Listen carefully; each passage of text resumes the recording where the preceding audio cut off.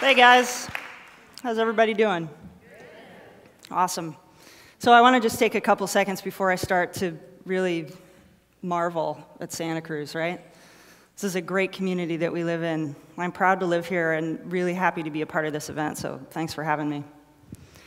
So I'm going to tell you guys a story. And my story is about gamification, and I can't really see, but I'm going to try. So, how many of you out there know a little bit about gamification? Right on. I love that. It's taken off. So, my story is about gamification and specifically about how I became involved with gamification and how through that involvement I learned what I know today, which is how gamification is changing the way that we interact with online content. And I believe that it has the power to change that interaction in a very positive way. And so, this is me, if you didn't already see me up here before. This is me a couple years ago. And I was living here in Santa Cruz. I had my own little graphic design and photography business. I was doing great. I was surfing every day. For all intents and purposes, my life was awesome. And I was happy, but I wasn't satisfied. And I didn't know why, so I was looking for something new. And then a friend and colleague called me and said, Hey, I want for you to help me with this 007 sales pitch that I'm doing. And I nearly fell out of my chair because 007 is really close to one of my favorite things in the world.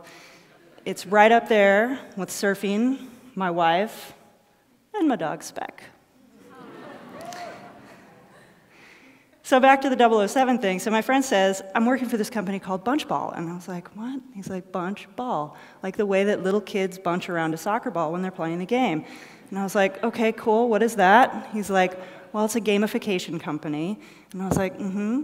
And he said, he goes, Yeah, you know, gamification. It's the application of game dynamics to non gaming environments, which was still not meaning much to me until he showed me the site and told me what he wanted for me to do with it. And he said, I want for you to take this site and I want for you to create a really engaging, special user experience for everybody that comes here.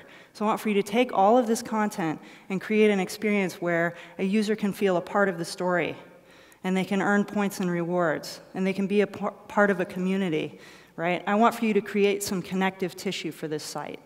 And I was like, wow, that's really interesting. So I took that away, and I spent a week locked in my office, having the most fun that I'd had in years working on this project.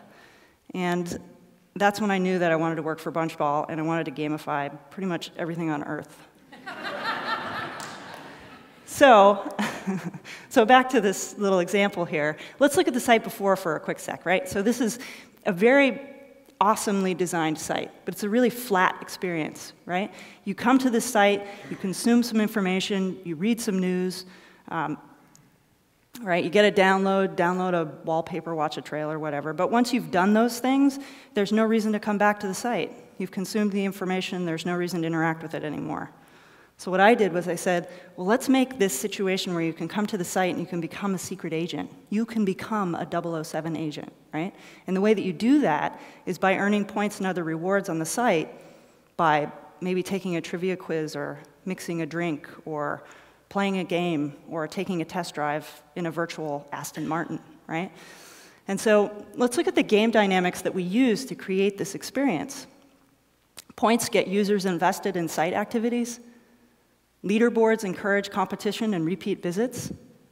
Tasks get users engaged by creating content, and they spend more time on site as a result. And we can also dynamically notify users that their actions result in rewards. So we can say, hey, congratulations for playing with the mixology thing, right? You just earned five points. Now try the trivia quiz. And so in this way, we can create this pathway for the user so that they come into the site, they're doing different things, and they're seeing the content that we want for them to see in that experience. And I realize as I say that that it sounds a little big brother, right? It's a little bit freakish.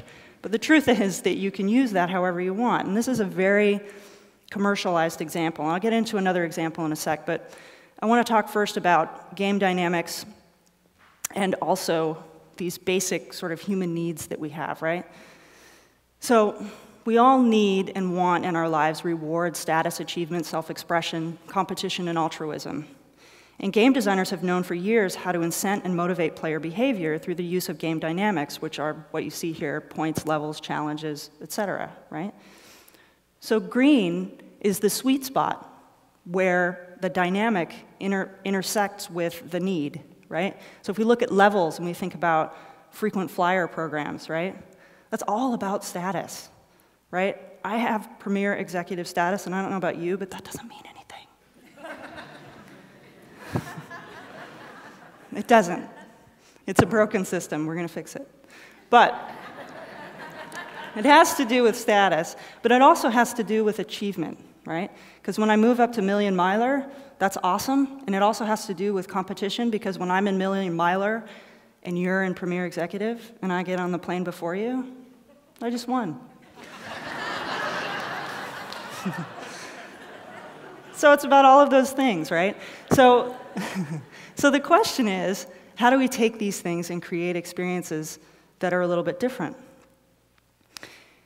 So we know that everyone here knows about frequent flyer programs. Starbucks is awarding points and badges for repeat store visits. 200 million plus people play social games with only virtual rewards. These are all facts within our lives, right? And so the question is, how do we take these facts and turn them into positive results? And so I want to talk about Hope Lab for a second. So Hope Lab is an organization that is taking technology and using it to help kids um, live healthier lifestyles. And Zamzee is one of Hope Lab's innovative solutions. And so there's this little piece here that you can see that kids strap onto their belt. And this little digital device records their vigorous activity or exercise in little bursts. And so here's how it works. These kids come home from school, they strap this little thing onto their belt, they play some games, it's recording their activity, and then they can take that device and plug it into a computer to see the points that they've earned for their activities. And then they can use those points to buy things online, like for their avatar, right? So they can dress their little avatar with cool shades and shirts and whatever. And you might say, avatars, that's really stupid. Why would anybody ever want to do that? And the answer is that it addresses a human need. Everybody needs to self express, right? So an avatar is a great way to self express online. Uh, remember, I talked about those flat experiences? This creates an experience where now I have a personalized piece of myself on the internet, and that's cool, especially for kids. And um, they can also see the activity of other users. This is also important. So they can see what other kids are doing on the site. Um, and that creates an environment where now they're not just an individual in a vast land of nothing. They're now a part of a community where they can see what other people are doing. And they want to be a part of that action. And that's important too. It addresses a human need. So if we look at this again, what we see with these two examples and what's really, really exciting to me is that we can see that they're the same, right? The commercial example uses the same game dynamics and addresses the same human needs that the Hope Lab example addresses, right? So what that tells me is that it's all up to you. You can do whatever you want with this information. And you could say, well, Farmville is a total waste of time. I have a friend tell me that, and it's absolutely true. It is. There's no doubt about that at all. You could be out gardening if you want, right? But the truth is that if we didn't have the example of Farmville, and we didn't have the example of uh, Bunchball's, you know, 60 plus implementations over the years, we wouldn't have the Hope Lab example either. And we wouldn't have the change that we see. It's all an evolution. So I want to tell you one more quick little story. So last night, I was at home and I was researching some of the other speakers here, and I was watching uh, Kyle, who's going to talk here in a little bit, he has a five minute video posted about plastics, right? And how can you um, help to save the world by reducing your use of plastics? And I thought, God, you know, how cool would it be if Santa Cruz created a program where we said, we're going to reduce collectively our use of plastics by what? Pick a number.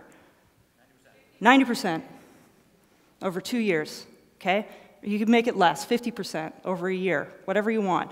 But that as a community, we created a place where you could go and you could register, right? So now, what are you? You're not an individual, you're part of a group. You're accountable to what? Not just the earth, you're accountable to your community, right?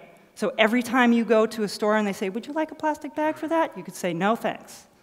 And then you go home and you record that you said no, you get a point. You use those points, right, to purchase maybe renewable energy for yourself somehow, right? So you start to see how all of these things start to tie together and fit together. So by addressing the human needs that I talked about with the game dynamics that I talked about, we can make great change in the world.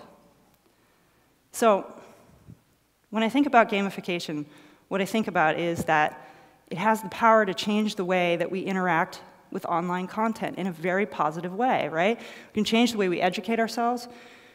We can change the way we take our medication. We can change the way that we have fun, right? And that's all up to you. So, with a clear set of best practices, a clear goal, a clear understanding of how you can influence human behavior with these dynamics, you can do pretty much anything. So, it's entirely up to you.